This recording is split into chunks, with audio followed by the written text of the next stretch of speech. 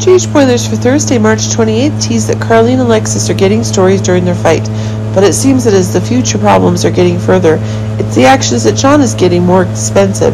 But it seems that while one of the big stories out there is that Carly is being shocked by the accusations John is leveling at Jason, it's controlling the narrative that Alexis is getting more popular in the extended, while John is still taking advantage of all the big stories that are being created where the FBI is in positions on Jason's case. A new passivity is being given to Carly and Alexis. Seems one of the new stories are getting out there is causing one of the new tensions to go even further. Precisely that, one of the flare-ups is leaving Alexis and Carly in a bit of a pickle. But it seems that as Jason is getting his anger out, that the allegations are becoming more widespread. But really, one of the big stories that's getting is increasingly being proven in new troubles. Jason's trial is getting explosive, but it seems that John is having new explosions. Elsewhere, Nina is noticing that one of the stories is increasingly changing.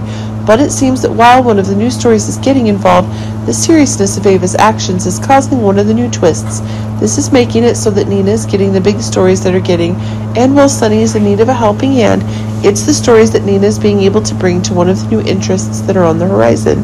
But it seems that while there are new constraints, this is proving that the big story is expanding, and certainly as Nina is not giving up on her explosive stories, and this is causing one of the new changes that are being made.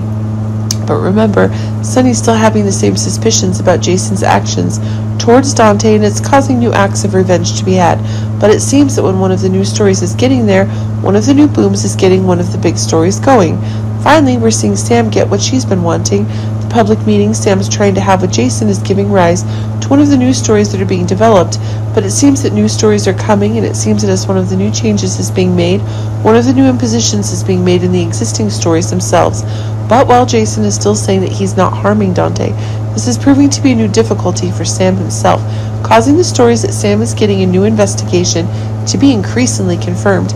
But it seems like one of the new stories that's going on is making one of the new twists, making a new fight that Sam needs to fight protect her loved ones are not in danger.